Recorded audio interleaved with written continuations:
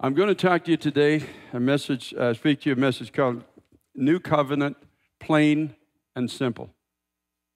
A New Covenant, plain and simple. It's the Coles Notes version of New Covenant.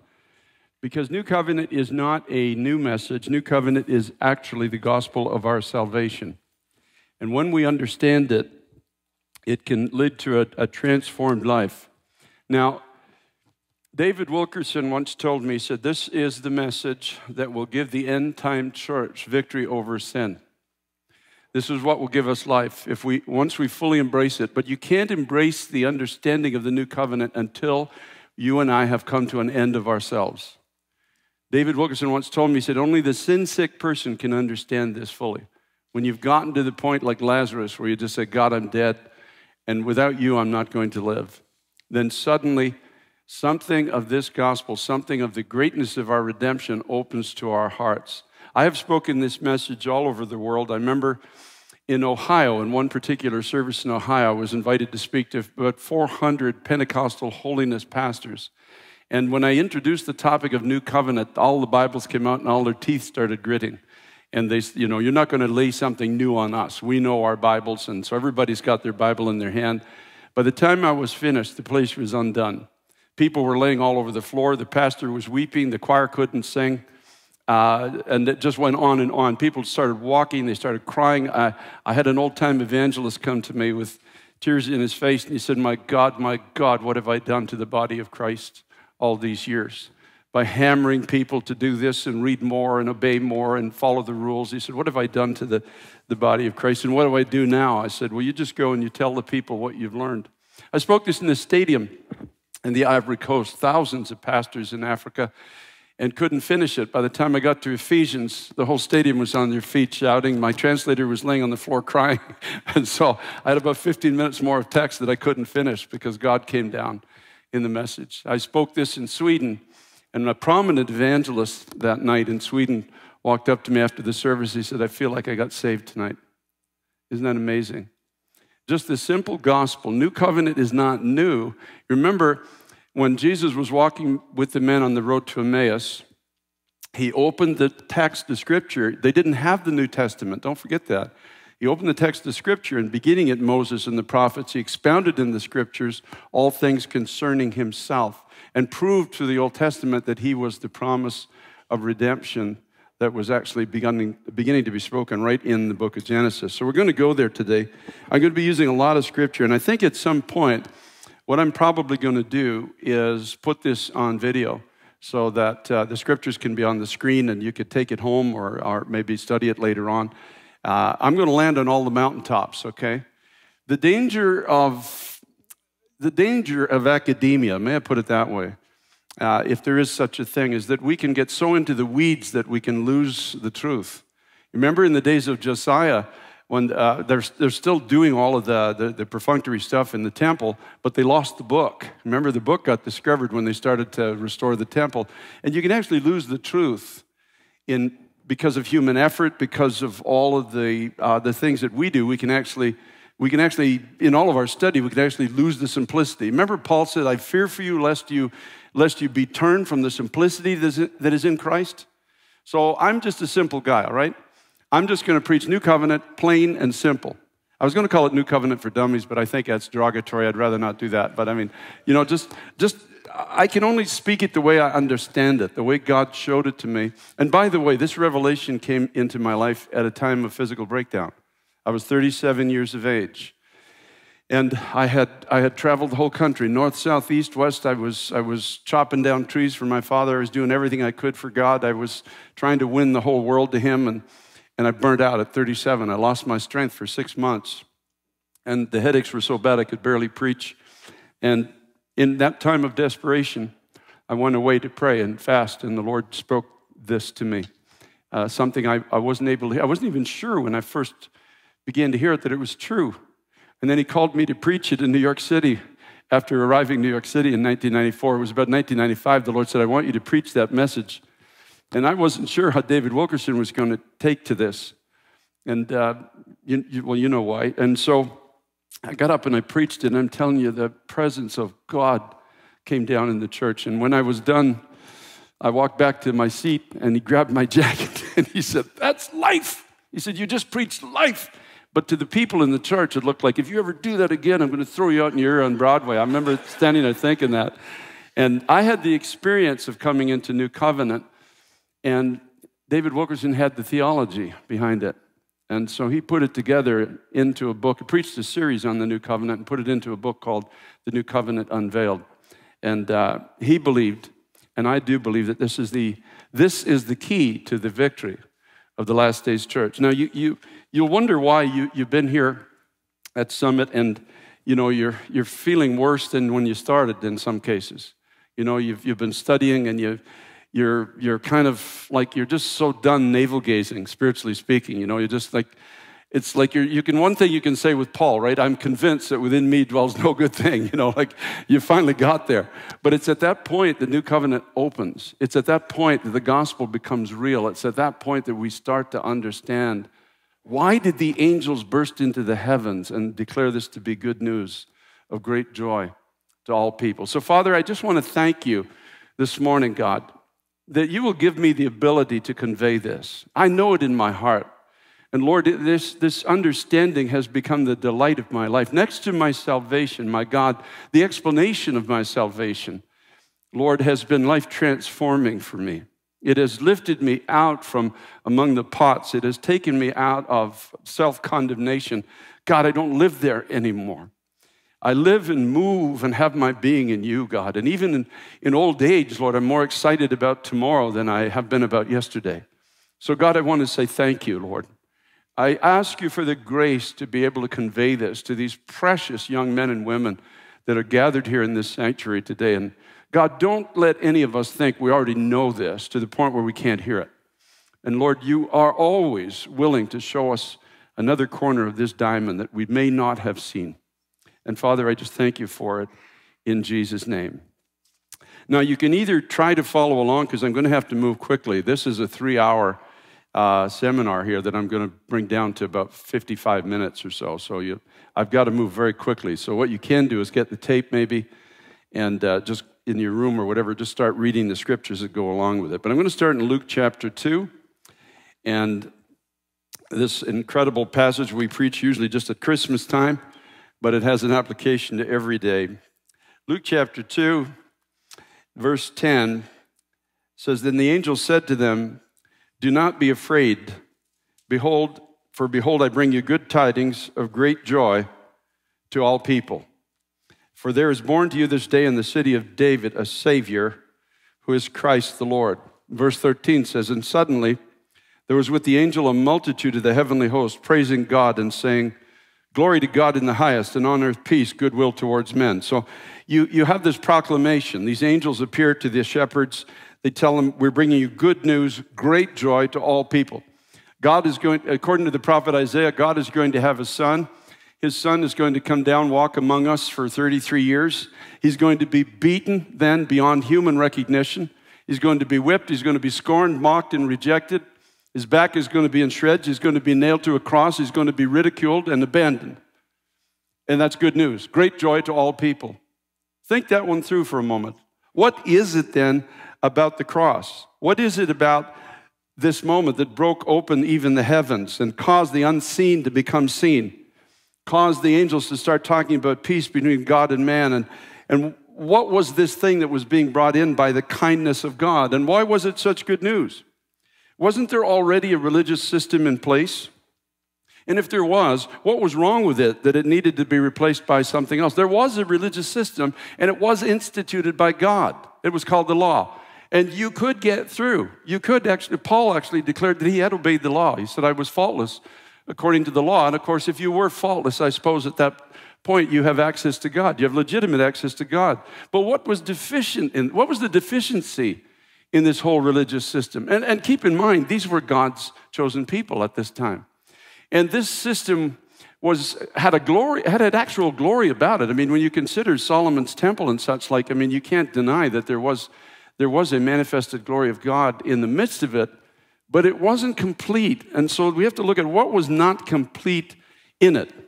So, in order to answer the question, we have to go back to the beginning. So, go with me to Genesis chapter 3. Genesis chapter 3, and verse 5, which tells us about the sin nature of mankind. Remember, Satan came into the garden with the nature of a serpent. Okay, now what is the nature of a serpent? I want you to hear this because later on we're going to talk about it again. A serpent can't hear, a serpent has no ears. And a serpent is led by his tongue. See, that's the nature of Satan. He cannot hear anything from God, and he is led by his own speech. Remember in the, in the book of Psalms, it says, Who say, our, our words are our own, who's going to be the judge over us? That's the seed of the serpent when it gets into human beings. They can no longer hear from God, and they are governed by their own speech. Now, Satan comes down into the garden and he sows this seed into the human race. God did not get ticked off with Adam and Eve because they ate an apple. They bit into a theological fruit in the Garden of Eden. The theological fruit is right here. God knows, verse 5, chapter 3, Genesis, that in the day you eat of it, your eyes will be opened and you will be like God, knowing good and evil. So here is the essence of the sin nature in the human race it finds its strength in the desire to live independently from God and to become in ourselves as gods. Or uh, some translations say as judges. Or another one says as God is himself. We, we, we get to the point where we believe somehow that we can be as God is without God. That we have, it, we have the innate ability to be as God is without God, without a living relationship with God, without the indwelling power of God, without, without a daily communion as Adam was having with God, we can now be as God is. And we can determine in ourselves what is good and what is evil. That's the seed that's sown in the human race.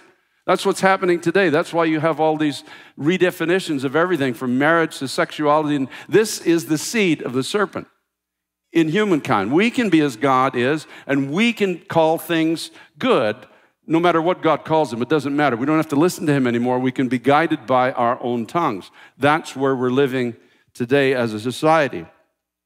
Now, the Lord, the gospel is preached the very first time in Genesis chapter 3 in verses 14 and 15. In verse 14, it says, So the Lord God said to the serpent, Because you've done this, you are cursed more than all cattle and more than every beast of the field. On your belly you shall go, and you shall eat dust all the days of your life. Now, this is the way I see that for what it's worth. It's only my, my vision of this. Humankind was created out of the dust. Remember, Adam was formed out of the dust. And it's, it's almost as if the, the curse that was put on Satan is you, you abdicated your position in heaven, the place you once had. Now your whole desire is going to be to consume humankind created from the dust. You're going to, you're to eat dust all, all of your days. That's what you're going to do. You're going to be devouring people. You, the mouth of the serpent. And, and of course, he's, he's working overtime in our time. And he says in verse 15, I will put enmity between you and the woman, and between your seed and her seed. He, which is Christ, here, shall bruise your head, and you shall bruise his heel. And so God is now saying to Satan in the Garden of Eden, I'm going to have soon a people, uh, actually, the people born of somebody called He. Somebody's coming called He. We know who that is. That's Christ. And he's going to bruise your head. What's, how's he going to bruise the head of the serpent? He's going to step on your head. He's going to step on your reasonings that you have imparted or infused into humanity. The reasoning that without God we can be as God is. This, this one is going to come and he's going to step on your head and he's going to have a seed. He will have a seed. He will have a people. That's who we are and they too will step upon your head because of his victory. They will know that we are not God in ourselves. We cannot be God in ourselves. We cannot be godly in ourselves. We can try all we want. It is not within us to be godly. Do you understand? It's only by the power of God's Holy Spirit. It's only by the cleansing of the blood of Christ. We, we can't be godly. It, it, I'll, I'll, I'll go farther into it and we'll understand this. Now, in Genesis chapter 12, now he says there's going to be Somebody come who's going to step on your, he's going to destroy you. That's the cross. We're, the cross is already in Genesis 3. There's going to be someone come who's going to destroy you. God was not taken off guard in the Garden of Eden. He wasn't coming up with a plan after humankind fell. The scripture tells us that Christ was foreordained to go to the cross before the creation of the world. I don't know if I will ever fully understand that. But God foreknew that creating someone in his image who had the capability of reason and thought would have to be redeemed. And yet he did it anyway. knowing it would cost the life of his son. There's something in the heart of God towards us that is just absolutely astounding. I, I, I, I've got to go there and ask these questions when I get there because the angels don't know. The Bible says in Hebrews they desire to look into this mystery of why we are the center of God's affection with all of our failings and flaws and faults and all of the things that are, that are in us. So eventually, in Genesis chapter 12, God drew to himself a man called Abraham that was the beginning, in a sense, of this promise being fulfilled in the Old Testament. Okay? Remember the promises I'm going to send a, someone to step on your head, and there's going to be a seed that's going to step on your head as well. So this is the, there's a, everybody thinks the Old Testament is all law. It's not. There's great grace all through the Old Testament. And so here in chapter 12, it says, Now the Lord said to Abram, verse 1 Get out of your country, from your family, and from your father's house to a land that I will show you, and I will make you a great nation. I will bless you and make your name great, and you shall be a blessing. I will bless those who bless you, and I will curse him who curses you. And in you, all the families of the earth are going to be blessed. He promised Abraham that through him and by the power of God that would make his descendants as numerous as the stars, that the whole world was going to be blessed. In Genesis chapter 15 and verse 5, the scripture says he brought him outside and said, Now look towards the heaven and count the stars if you're able to number them. And he said, So shall your descendants be. Now, this was not just the physical lineage of Abraham, which was the Jewish race. This was going to be the church of Jesus Christ. Jesus said to us, as his people in Matthew chapter 5 and verse 14, You are the light of the world. We are the stars that God spoke to Abraham about. We, we are there for signs and for seasons and uh, to, to, give light in darkened times, to, to help the, the, the, the traveler to understand the direction of his journey and where he's going. We, we are, in a sense, because Paul says it, we are by faith the children of Abraham. Do you understand? I mean, it's there. The promise that God was giving to Abraham, first of all, uh, uh, that he said in Genesis of a seed is us. And the promise that he gave to Abraham that your, your descendants are going to be as numerous as the stars in the sky, if you could even begin to count them. And you, obviously, we can't. There's probably hundreds and hundreds of millions of stars. He said, This is what I'm going to do. Now, in Genesis 15, it gets really interesting now. Now we're starting to get into the new covenant, even in the Old Testament. In Genesis chapter 15, in verse 6, he said, And he believed in the Lord, and it, it accounted to him for righteousness. And then verse 8, he says, Lord God, how shall I know that I will inherit it? Like, in other words, God, you're, you're promising me this place, and you're promising me this people, and you're promising me, God, that you're going to do something in me that can only be done by your power. But how, show me how you're going to do this. So now, the Lord, he said to me in verse 9 of Genesis 15, Bring me a three year old heifer, a three year old female goat, a three year old ram, a turtle dove, and a young pigeon. Now, I happen to believe that everything points to Jesus Christ. Jesus Christ was three years in ministry. Jesus Christ died at 33. Jesus Christ was three days in the grave. I mean, you don't have to be a rocket scientist to look and see there's typology all through here. Everything does point to Jesus Christ. Then he brought all these to him and cut them in two down in the middle and placed each piece opposite the other, but he did not cut the birds in two. And when the vultures came down on the carcasses, Abraham drove them away. So he told him to take a sacrifice, a heifer, a goat, a ram, turtle dove, and a pigeon, and divide it on two sides and make a pathway in between. So when, when you were about to make a covenant in the Old Testament with somebody, that's what you did. If I, if I was an Old Testament believer and I was going to make a covenant with you, we, would, we didn't have to go through all of this maybe, but maybe we would take a lamb, we would cut it in two, we'd put one half on one side of a path and one half on the other. And we would walk together through between those two pieces. That's how a covenant was made. It was a, it was a covenant in blood back then. Now, the, the inference was that if, if I break my covenant to you, may I be as one of these lambs or the goat or the heifer. May I, may I die if I don't fulfill my covenant to you. Remember, David said to Jonathan, If I have broken covenant, if there's iniquity in me, slay me yourself, in other words. I've made a covenant with you, Jonathan. Remember, they made a covenant. He said, If I've broken the covenant, then take your sword and kill me. See, they knew what a covenant was. And so Abraham knew this God was making a covenant to give him descendants as numerous as the stars. And Abraham is saying, like, well, how's this going to happen?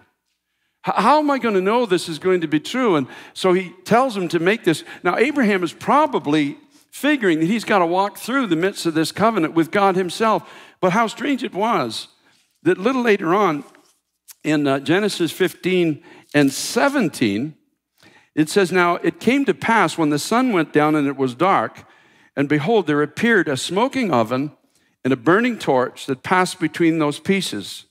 On the same day, the Lord made a covenant with Abraham, saying, To your descendants I have given this land. So here we have in Genesis 15. Now I want you to really get this in your head because you're going to start seeing it when we get into the New Testament. That at sunset, as a smoking furnace and a burning lamp, God Himself, these are emblems in a sense that represent God the Father, God the, the Holy Spirit, and of course the sacrifice is going to be God the Son. That God Himself is going to pass through the sacrifice and making a covenant with himself to fulfill this thing. It's a covenant that God made with himself, not with Abraham. All Abraham had to do was chase the birds away. Do you understand? In this new covenant that we live in, called the cross of Jesus Christ, all you have to do is chase the birds away that come to try to devour this great truth, this truth of great joy, of good news to all people, this truth of freedom, this truth of God willingness to make us into what we could never be in ourselves and give us what we could never possess. All you have to do is chase the birds away that come after that. The birds that try to say, well, you're not good enough, or the, you don't read enough, you don't pray enough, you, you're not faithful enough. Those are birds because it's got nothing to do with us. The covenant is not with us. God makes the covenant with Himself, and He says, I am going to covenant to bring you through and to make you more than you could ever be and to give you freedom and to make you a blessing to the world. The whole world is going to be blessed through you, and God says, I am the one who's going to do this. All you have to do is drive the birds away, Abraham. And this promise goes all through the Old Testament, right through to the cross. You know, it's amazing because when you read the Old Testament in particular, there's these two threads. In, in the Garden of Eden, Adam and Eve sin and they're barred from the garden. The flaming swords and angels and everything are there and they're kicked out of the garden. But from the loss of the tree of life, you'll see there's two threads that go right through the whole Old Testament. And some people don't understand what those threads are about. The, the, the upper thread, may I call it that, is grace, grace, grace, grace. It's this covenant to Abraham. It's this, it's the covenant that's reiterated to David. It's this promise. It's Joel saying there's a day coming when the Holy Spirit's going to be given to all people. You have this wonderful thread of grace all through the Old Testament. Anybody who tells you the Old Testament is just law, they don't know their Bible. There's great grace all through the Old Testament. But then you have this secondary thread comes down underneath of law and works. And we wonder, like, why?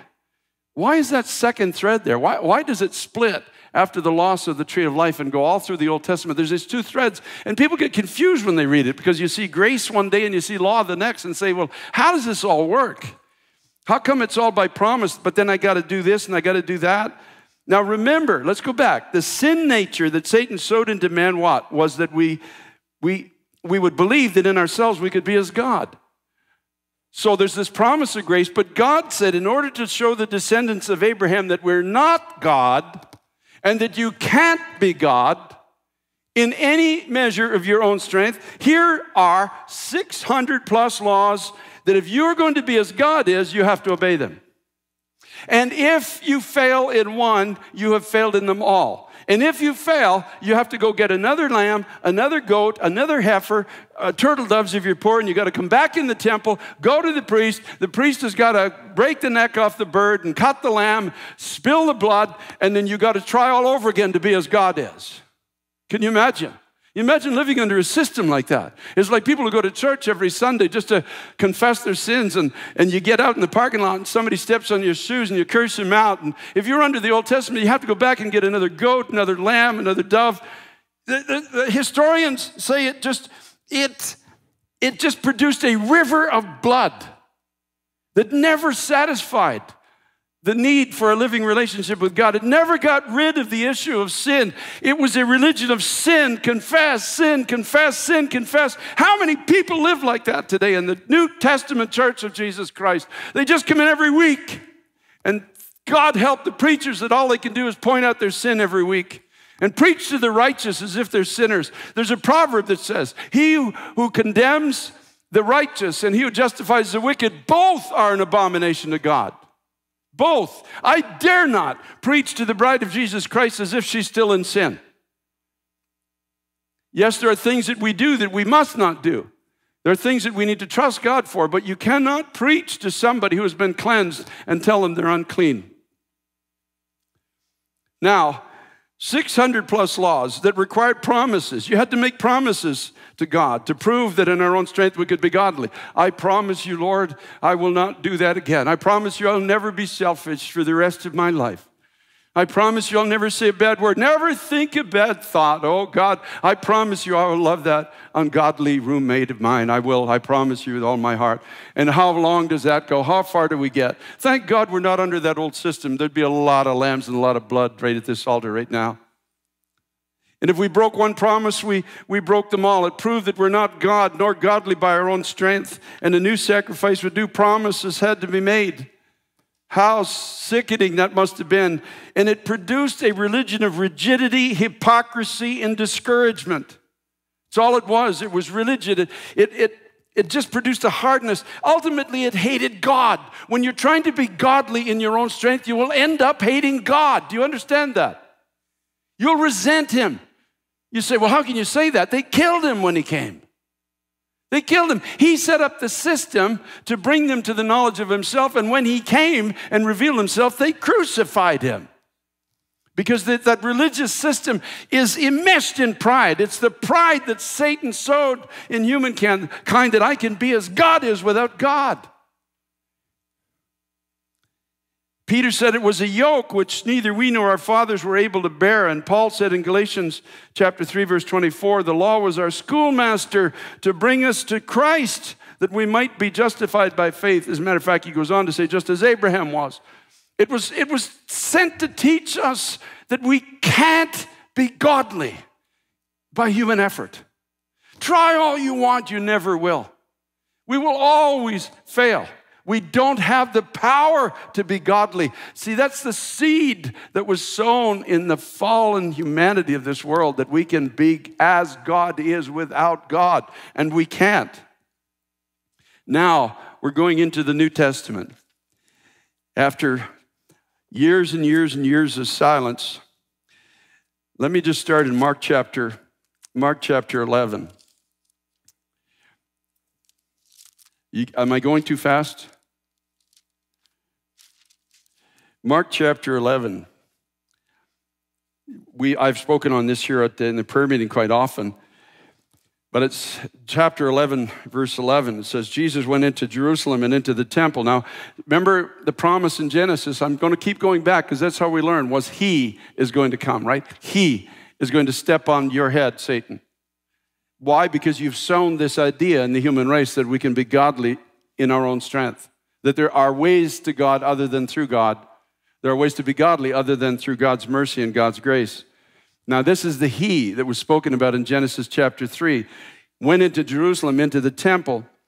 When he had looked around, he, he came out the next day and said he came to Bethany, he was hungry, and seeing a fig tree far off having leaves, he went to see if perhaps he could find something on it. When he came to it, he found nothing but leaves, for it was not the season for figs. In response, Jesus said to it, Let no one eat fruit from you ever again. And his disciples heard it. I have always believed that this was, you see, Christ does not live in time like we do. Uh, something that happened a thousand years ago be like a second to him. He doesn't live in the realm that we do.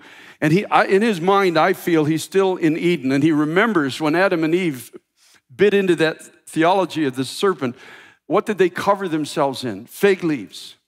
And what did it represent? It represented cleansing by human effort. They lost the glory of God because they thought they could be God without God.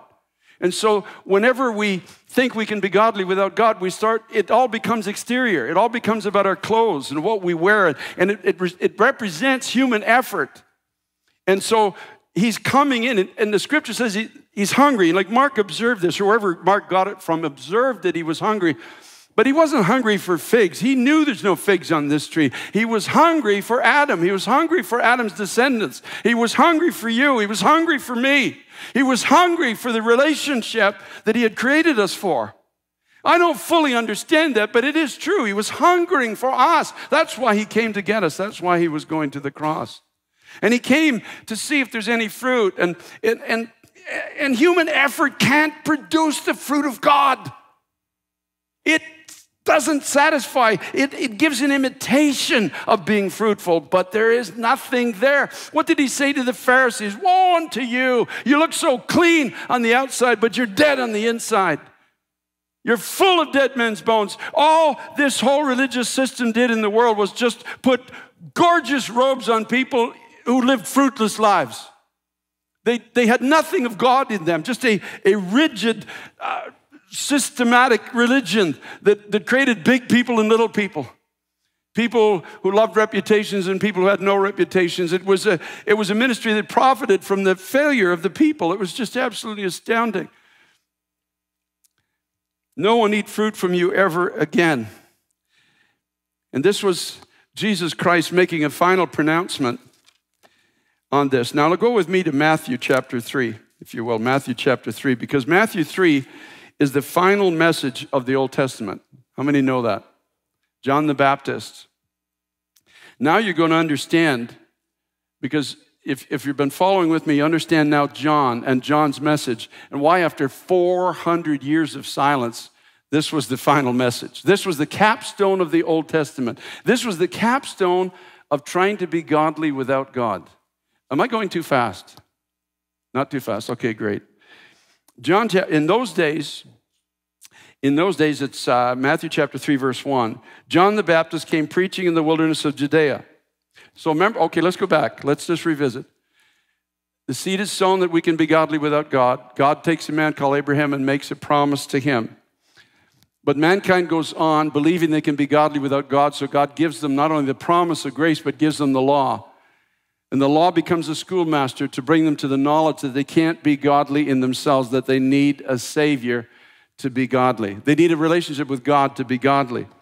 And so, after, after all the years from Genesis 3 right through to John the Baptist, and the, the previous 400 years, God just stopped talking. Can you imagine?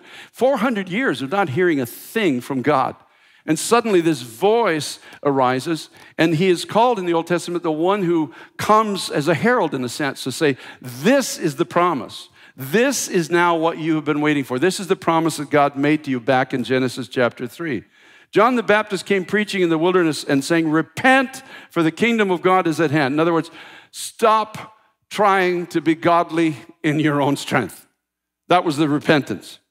For he, for this is he who was spoken of by the prophet Isaiah, saying, The voice of one crying in the wilderness, this is John, prepare the way of the Lord, make his path straight. In other words, prepare your heart for him to come back to you. Make his path straight. Stop trying to be godly in your own strength. Now, John himself was clothed with camel's hair and a leather belt around his waist, and his food was locusts and wild honey. Then Jerusalem, all Judea, and all the region round about Jordan went out to him and were baptized by him in the Jordan, confessing their sins. When he saw many of the Pharisees and Sadducees coming to his baptism, he said to them, Brood of vipers. Who is he? See, that's the seed of the serpent. You can't hear, and you are guided by your own tongues. Who warned you to flee from the wrath to come?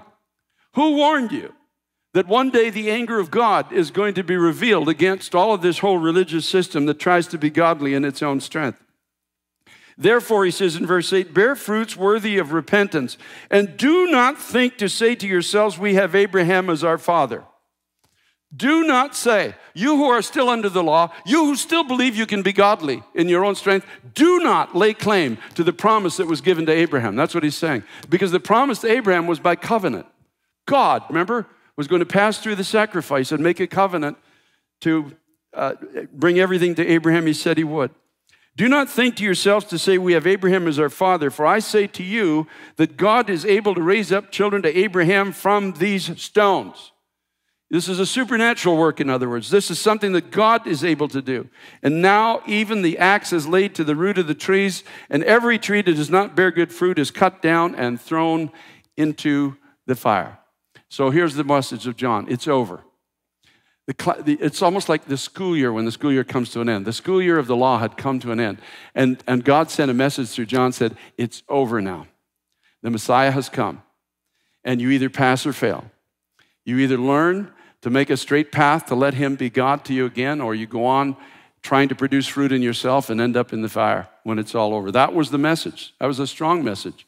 And it was given to the whole religious system of, of John's day. John was saying, Repent of trying to be godly in your own strength. Admit the failure of it all and open the way for God Himself to come to you and give you the freedom and the power you long for. Then in Luke chapter 3, Luke chapter 3. Um, let me find that. Be verses uh, 21 and 22. No, that's not it. No, here it is. Okay, Luke chapter 3, verses 21 22. It says, When all the people were baptized, it came to pass that Jesus also was baptized, and while he prayed, the heaven was opened. Now listen, the Holy Spirit descended in bodily form like a dove upon him, and a voice came from heaven which said, You are my beloved Son, and you I am well pleased. Remember Genesis 15? A smoking furnace, a burning lamp, and the sacrifice. That was the covenant that God was making with himself. Now we see it being repeated here in Luke chapter 3, verse 21. Jesus goes into the water of baptism, he is the sacrifice. When he prays, heaven is open. The Holy Spirit comes down. That's probably the smoking, uh, the burning lamp, like a dove upon him, and a voice, which is represented in, in, Genesis 3 by this uh, burning furnace, came from heaven and said, You are my beloved Son, in you I am well pleased. Here is the new covenant. It's amazing. It's God coming down saying, I have come to do for you what you cannot do for yourself. I've come to give you what you cannot obtain through any measure of human effort. It's God in covenant with Himself to do something we could not do for ourselves. You see, this new covenant would take the Son of God to a cross where God, through Jesus Christ, would destroy forever the power of the poison that Satan had infused into the minds of Abraham and his descendants. And finally, we would be free from trying to be godly and holy in our own strength. Jesus said it in John chapter 24 before he, as he was preparing to go to the cross. John 17, 24, rather. He says these words Father, I desire that they also, whom you have given to me, may be with me where I am, that they may behold my glory which you've given me, for you loved me before the foundation of the world. The moment people went down into baptism in John's day, the moment they, they went into the water, the moment they confessed, I can't be godly no matter how hard I try, it was at that moment that John said, Behold the Lamb of God, which takes away the sin of the world. So you don't see him until you've done looking at yourself. We don't see the strength of God until we've finally given up on our own, until we finally get to the place of saying, I can't do this.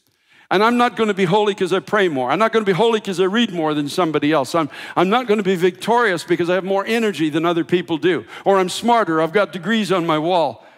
It's not by any of this. It's all by the power of God. It's all by the mercy of God. It's all by the grace of God. Behold the Lamb of God. You can't see Christ until you're done looking at yourself.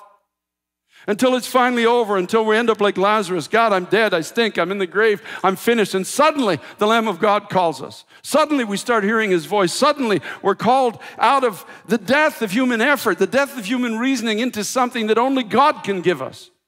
It's absolutely a miracle. It's, it's good news. It's great joy. It's to all people because it levels the ground. There's no big people in the kingdom of God, no, no small ones, no little ones. It's the hungry that get the victory. It's the lame that take the prey, Isaiah said. It didn't make sense in the Old Testament because everybody's fighting for position in the temple. But you have this thread of grace that's saying there's a day coming when the lame are going to take the prey. God's sending somebody here who's like a root out of dry ground. No form, no comeliness, nothing about him that anybody under the law wants him. But it is the redemptive plan of God. Bruised for our iniquities, wounded for the things that we have done. The chastisement of our peace is laid upon him. And by his stripes we are healed.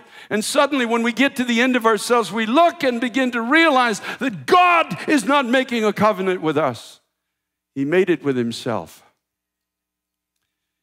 You see, in the Old Testament, it was you had to make promises to God. That was the covenant. He said to the people, I'll, I'll be God to you if you do this. You do these 600 laws, and I'll be God to you. That was it. That was the deal. And if you if you break them, then I'm not I don't I'm not obligated to be God to you if you break them. But under the new covenant, we don't make promises to God anymore. We live by the promises of God to us. Hallelujah to the Lamb of God. I don't have to make a single promise to God any day of my life. I don't have to get up and say, I'm going to do better, I'm going to do more. I don't have to do anything. Say, God, show me your promise to me today and give me a heart because the old covenant was a covenant of works. You had to work for God's favor. Under the new covenant, you believe. It's a covenant of faith. He won the victory. We enter into it by faith. You say, God, I believe you died in my place. You took my beating. You paid the price for my sin. You've given me your Holy Spirit. You've given me these incredible promises. And this is going to be my life. This is going to be my future. It's my strength. No wonder the heavens broke open. No wonder the angels couldn't stay hidden any longer. No wonder they shouted good news of great joy to all people. I'm going to tell you a story as, as, as simply as I can, but I don't have time to go through it. But it is in Isaiah. You can actually read it in Isaiah, where Isaiah, the prophet, actually unfolds what transpired in heaven. Where God the Father says to the Son, Son, we're creating humankind in our image, and they're going to sin against us, and they're going to need to be redeemed. And so when the redemption time comes, you're, you're going to have to go down to the earth and you're going to walk among them for 33 years and you're going to do good to them and you're going to show them how good I am. But they're going to reject you and they're going to crucify you. It's foreordained and it will be the one time forever sacrifice for their sins. For everybody who turns to me through you, it will be the one time payment. It, won't have to be paid every week or every service, it's one time. And he says, Then after you're going to go into the grave, son, and you're going to have to trust I'm going to raise you from the dead on the third day. And I'm going to bring you back, and you're going to sit at my right hand, and all power, and all principality, all authority is going to be given to you, and you're going to step on the devil's head. You're going to destroy the powers of darkness, and every name that is named is going to be under your authority and under your dominion from all for all time. You're going to have to trust me, son. When you go to that cross, you're going to have to say, Father, into thy hands I commit my spirit. You're going to have to trust that I'll be faithful to you and that I will raise you on the third day. And the father looked at his son and said, Father, I trust you. I will do what you asked me to do. But I have a favor that I want to ask of you.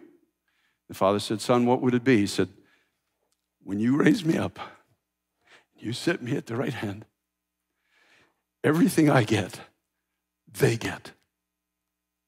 Everything I get, those who believe in me, they also get it too. They get to sit with me where I am in heavenly places. Praise be to God. In John chapter 19, Matthew 19 30, Jesus cried out on the cross, It is finished. Hallelujah. The fulfillment of Genesis 3:15 or 3:5 whatever it was it is finished. This whole era of Satan sowing this lie into the into the minds and hearts of people is all over. It's all finished. I have destroyed the work. I have stepped on the head of the serpent and I have now a people are going to join with me sit with me where I am at the right hand of God and they too are going to live in victory and they too are going to destroy the serpent in Matthew 27, it says, when Jesus, when finally he, he shouted his last shout, and it was, it was so loud and it was so impossible to do. When you died of crucifixion, you died uh, being unable to, you suffocated. You couldn't breathe. To draw a breath, to shout that loud. That's why the centurion said, Surely this was the Son of God. He knew nobody could shout that loud in their last breath. But I also believe that your name was on his lips. My name was on his lips.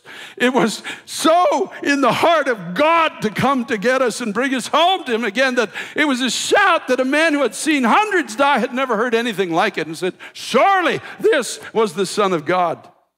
The Bible says the veil was rent. God says, Finally, I'm not separated from my people anymore. Those who come to me by faith. They can, they, it's not just one person once a year going in with a rope on his leg in case as he dies and they have to drag him out. Everybody now can come into the throne of grace to find help in their time of need. The scripture says the earth shook, the intensity of God's heart towards you, and I shook the earth, the veil rent. And as he went by, the scripture says the dead were raised out of graves and came back to life. And many of them went into Jerusalem and started talking about the things of the kingdom of God. And it, it reminds me of the, the parable of the prodigal son, where the, the father just comes running to his son. And as he's running, he's God. Life follows him. In, in the, the heart of God is, is so revealed, I don't know how else to say it. And Paul now says in Ephesians chapter 1, I'm getting close to the end. You want to shout anytime, you feel free to do so, you know. I'm, go- I'm going to shout anyway because I'm excited about this. In Ephesians chapter 1, verse 17, Paul says this now, in the light of what I've been saying, that the God of our Lord Jesus Christ, the Father of glory, may give to you the spirit of wisdom and revelation in the knowledge of Him, the eyes of your understanding being enlightened. You may know what is the hope of His calling, what are the riches of the glory of His inheritance in the saints what is the exceeding greatness of his power towards us who believe, according to the working of his mighty power, which he worked in Christ when he raised him from the dead and seated him at the right hand in heavenly places, far above all principality, power, might, and dominion, and every name that is named, not only in this age, but also in that which is to come. And he's put all things where? Under his feet. What was the promise in Genesis? And gave him to be head over who? All things to the church. Who was the seed that was going to be born of him, that was going to also step on the head of the serpent, which is his body, the fullness of him who fills all in all. And he goes on in, in, verse 2, chapter 2, verse 1, it says, And you he has made alive who were dead in trespasses and sins. So Christ sits at the right hand in total victory in total authority. Chapter 2, verse 4 says, But God, who is rich in mercy, because of his great love with which he loved us, even when we were dead in trespasses, made us alive together with Christ. By grace you have been saved, and raised us up together and made us sit together in heavenly places in Christ. Folks, listen to me. He is the head, we are the body. You cannot separate the head from the body. I am already I am already at the right hand of God. So are you.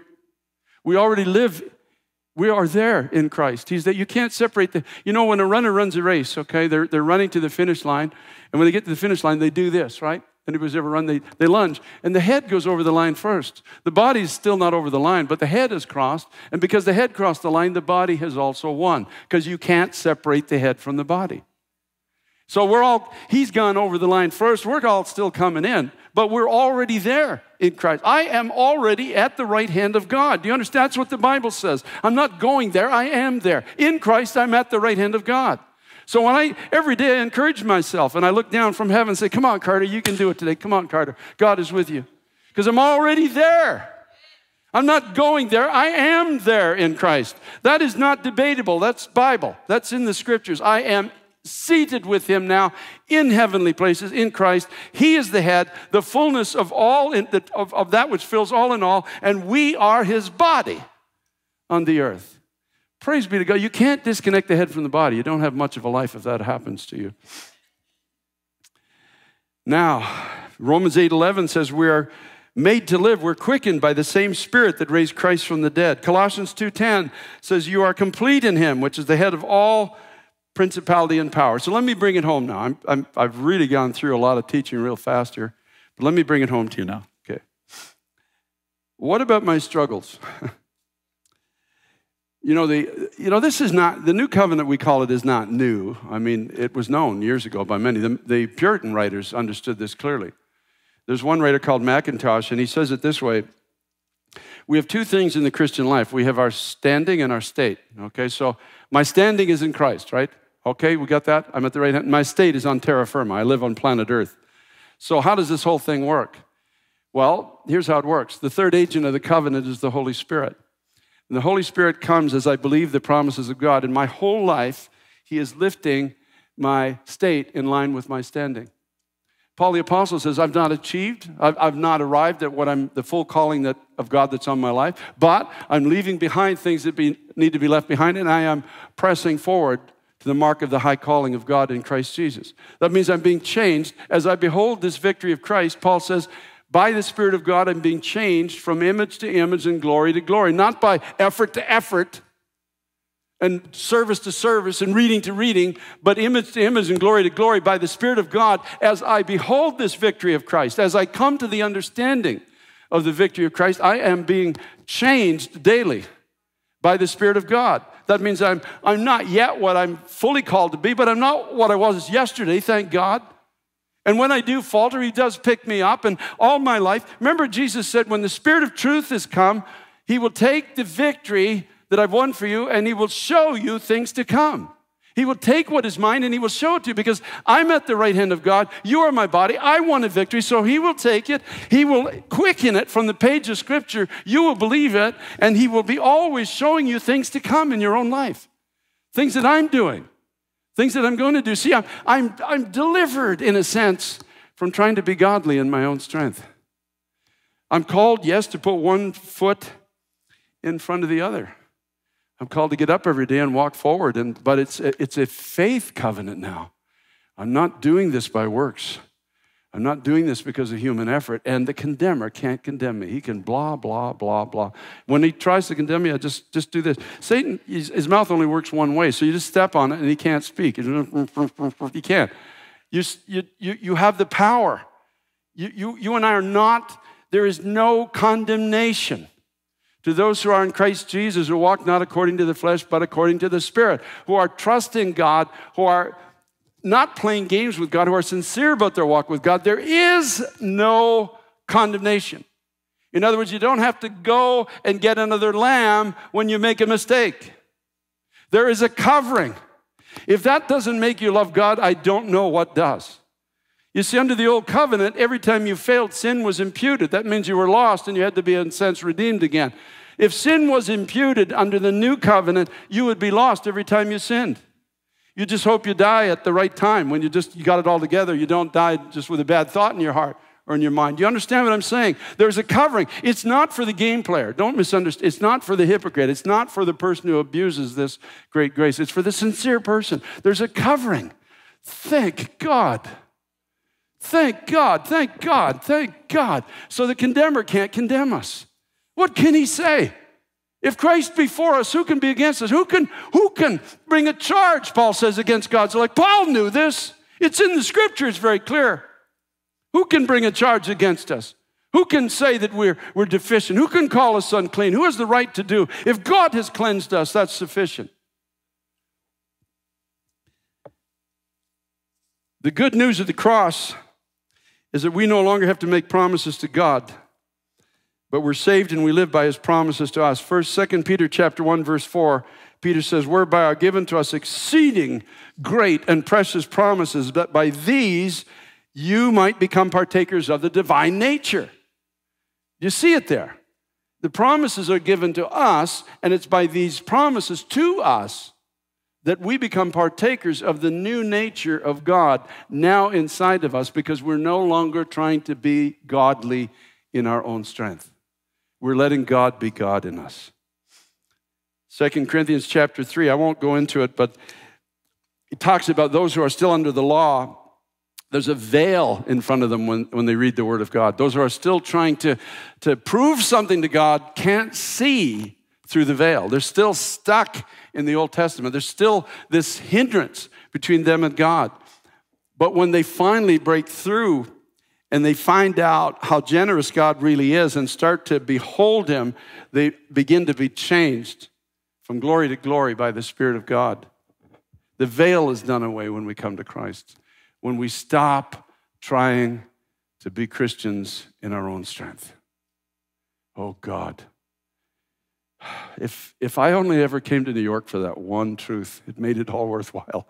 It made all the sickness worthwhile, it made all the sighing worthwhile, all the trouble, the trials, the frequent beatings, and everything else. If I only came for that one truth, that one truth. You know, there was a great, great theologian. I forget his name. You probably know it, but they, uh, he studied and he knew all. He knew the Hebrew and Greek and, and, and even other languages. And and they asked him, What is the greatest truth that you ever learned? And without hesitation, he said, Jesus loves me, this I know, for the Bible tells me so. Our message becomes like those of the angels, that of the angels in Luke chapter 2. It's a message of good news, great joy to all people. You see why it was good news? And it's great joy and it's to all people. It's to the it's the alcoholic it's to the homosexual it's to the i don't know it's to the person in prison it's to the depressed the discouraged it's to the proud it's to everybody. It's to it, the ground is so level. It's, a, it's good news and it's great joy and it's to all people. And you see we can't bring that message to people until we're actually are living it so we know it. I was not able to get this far in the ivory coast and probably a thousand or two thousand pastors were on their feet crying and hollering and shouting. My translator's on the floor crying. The message is over. They got it. The 400 uh, hyper legalistic uh, Pentecostal holiness pastors came unglued. They were laying on the carpets everywhere. The choir couldn't sing, the pastor couldn't close the service. If people are marching up and down the aisles, their hands are waving in the air. It's like, oh my God, oh my God, oh my God, oh my God. You see, they were so tired of trying to be holy. It was all about earrings and skirt lengths and all this stuff in the church and rules and regulations. And they were, I just got there at the right time. They were just all so sick of it. And they just came unglued. I'd rarely, rarely ever seen something like that. I mean, they just cried and cried and cried and cried. And I just remember them laying all over the place, sobbing everywhere. The choir, the pastor got up, he tried to get the choir to sing. he started crying, the choir started crying. It was a big church. And nobody, it was under this message. They had labored so long to be holy.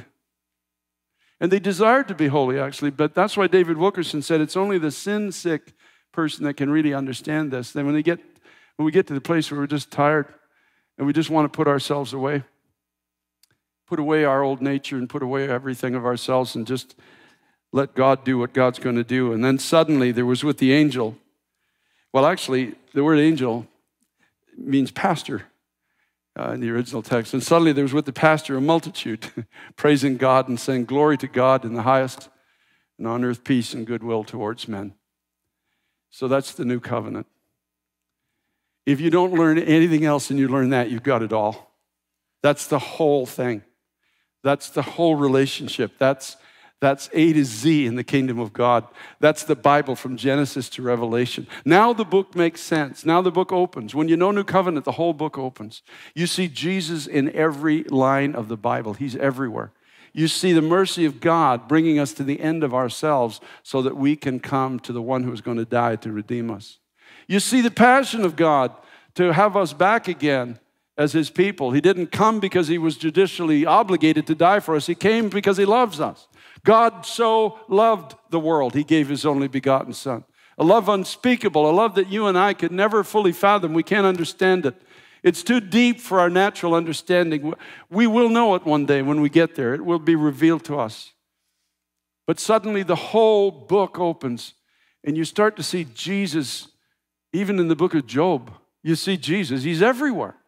He's in every line, he's in everything, and he's being revealed, he's being unfolded, and you start to realize what a magnificent book this really is. It really is the Word of God. And it only tells one story I created you. You thought you could be like me without me, and I came back to get you, and I'm bringing you home.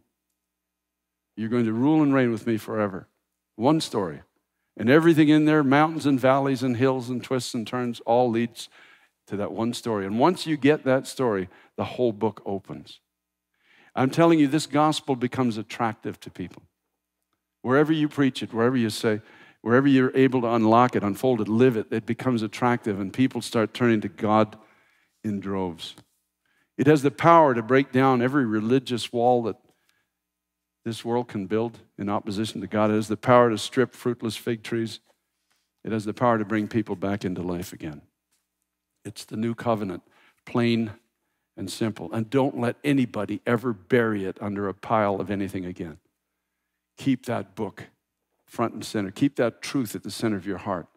It will keep you all the days of your life. It'll keep you from getting religiously uh, annoying. Really, religious people are annoying. They annoy me. You know, people just know a lot of truth but very little about God. You know, but when you know Him, there's a sweetness.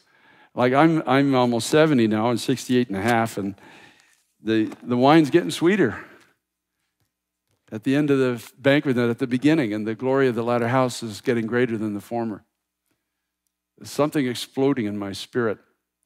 I think I can do more good now than I've done for the previous 68 years because I know Him.